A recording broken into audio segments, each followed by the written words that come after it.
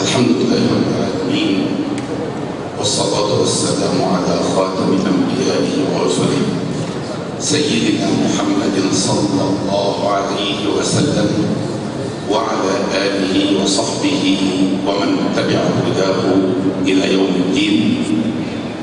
سيادة اللواء خالد عبد العال محافظ القاهرة نائبا عن السيد الرئيس عبد الفتاح السيسي رئيس الجمهورية حفظه الله فضيلة الشيخ صالح عباس وكيل الأزهر الشريف نائبا عن فضيلة الإمام الأكبر الأستاذ الدكتور أحمد الطيب شيخ الأزهر فضيلة الأستاذ الدكتور شوقي علام مفتي الجمهورية سماحة السيد السيد محمود الشريف نقيب السادة الأشراف وكيل مجلس النواب السيد الأستاذ سليمان وهدان وكيل مجلس النواب سيادة اللواء ياسر عبد العزيز نائبا عن معالي وزير الدفاع والسادة المحترمون ضباط القوات المسلحة السادة السفراء والعلماء الحضور الكريم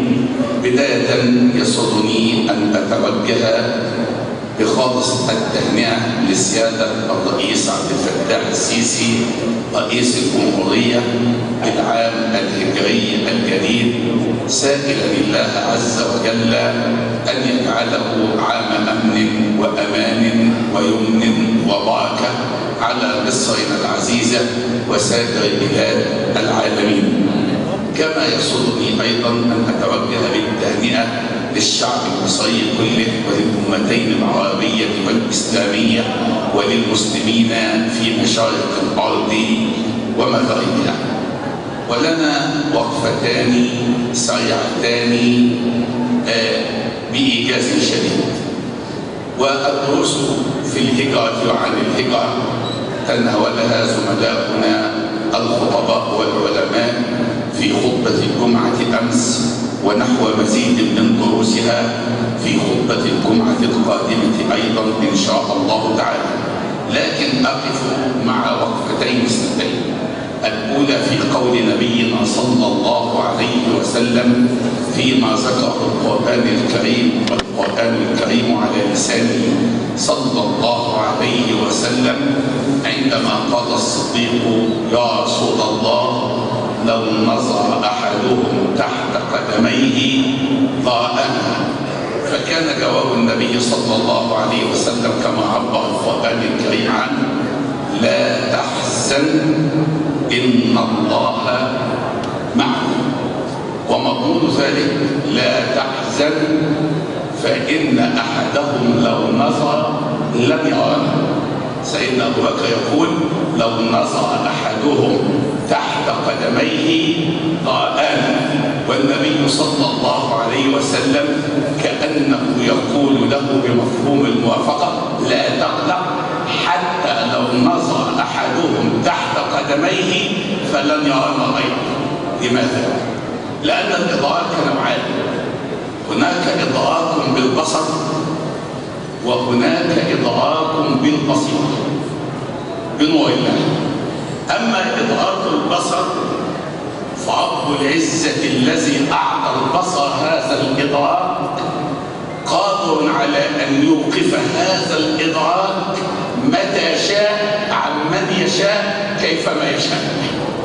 ولم تكن حادثة الهجرة هي الحادثة الأولى بل عندما خرج النبي صلى الله عليه وسلم من بين ظهرانيهم في اللحظات الأولى وقال بسم الله شاهت الوجوه يقول الحق سبحانه وجعلنا من بين أيديهم سدا ومن خلفهم سدا فأغشيناهم فهم لا يبصرون ويقول سبحانه ولو نشاء لطمسنا على أعينهم فعندما يريد الله شيئا أمره إذا قضى شيئا أن يقول له كن فيكون فهو القادر على أن يوقف إدراك البصر متى يشاء.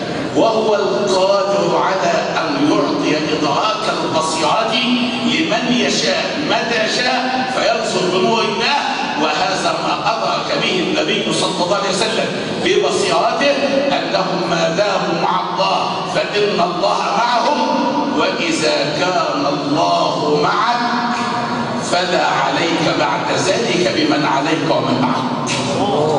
وإذا العناية لاحظتك عيونها فالمخاوف كلهن أمان وإن صح عون الخالق المرء لم يجد عسيرا من الآمان إلا ميسرا. ولذا في الأبيات التي تنسب إلى أحد العارفين وتنسب إلى ربيعة العدوية فليت الذي بيني وبينك عامر وبيني وبين العالمين يا باب إذا صح منك الود فالكل هين وكل الذي تحت التراب قرب ومعية الله مع من؟ إن الله مع الصابرين وأن الله مع المؤمنين. إن الله مع الذين اتقوا والذين هم محسنون. وإن الله لمع المحسنين. معية الله تتحقق بأمور من أهمها التقوى والإحسان. والتقوى تعني أن تكون وقافا عند حدود الله. فيجدك حيث أمرك. ولا يراك حيث أما الإحسان فهي مسابقة في الخيرات بكل ما تعنيه كلمة الإحسان من الإنفاق في سبيل الله وبناء الأوطان وبناء الحضارات الإحسان إلى الوطن إحسان الإحسان إلى الفقراء إحسان الإحسان إلى الأهل إحسان الإحسان إلى الزملاء إحسان. ويكفي أن يقال عن فلان إنه محسن وإنه مفتاح للخير كما قال نبينا صلى الله عليه وسلم إن من الناس مفاتيح للخير مغاليق للشر. وإن من الناس مغاليق للخير مفاتيح للشر فطوبى لمن جعله الله مفتاحا للخير مغلاقا للشر.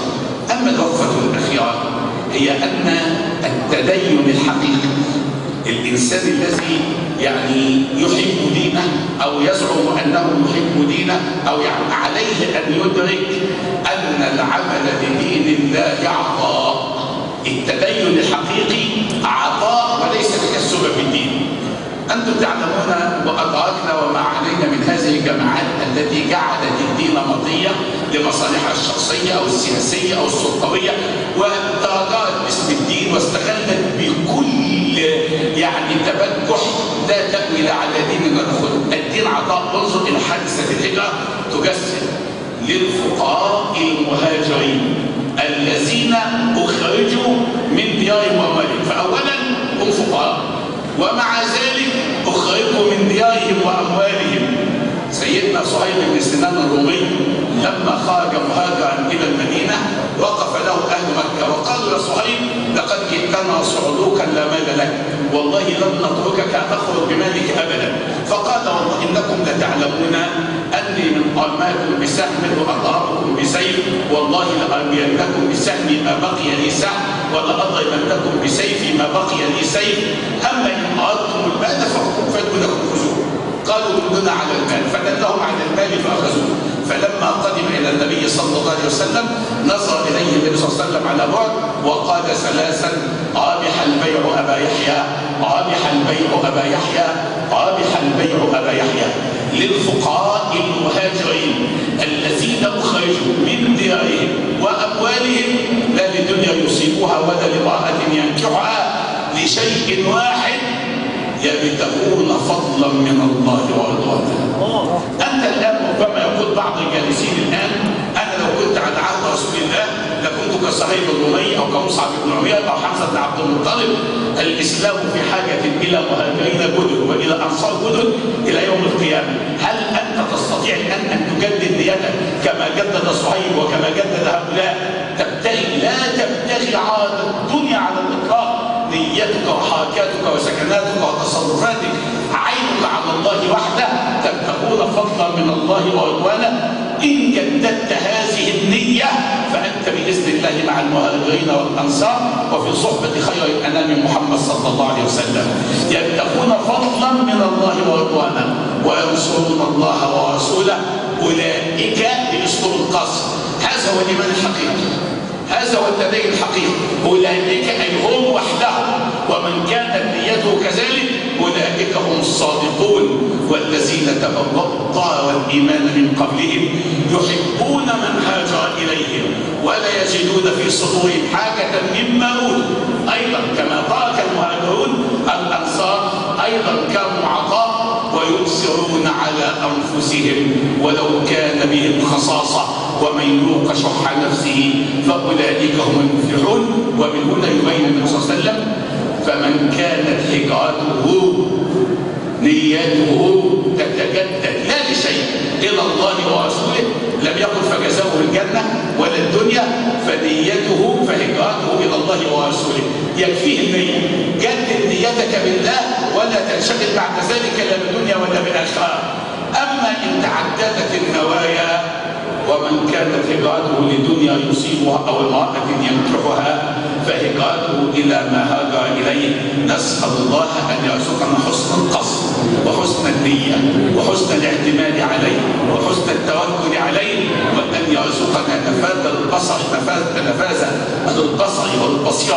بحق وصدق وأن يكون معنا في أمر في دنيانا برحمته وفضله والتمكين لهذا البلد واهله وأن يكون معنا في آخرتنا بفضله ومغفرته ورحمته وسبيلنا إلى وسبيلنا إلى جنته بإذن الله. نسأل الله أن يجعل هذا البلد آمنا أمانا سخاء رخاء وسائر بلاد العالمين. وأن يجعلنا في عامنا هذا في ساعتنا هذه من المقبولين وأن يسقينا عند الحوض شربة بيد سيدنا محمد صلى الله عليه وسلم. لا نظلم بعدها أبدا وكل عام وحضراتكم جميعا بخير. والسلام عليكم ورحمة الله وبركاته.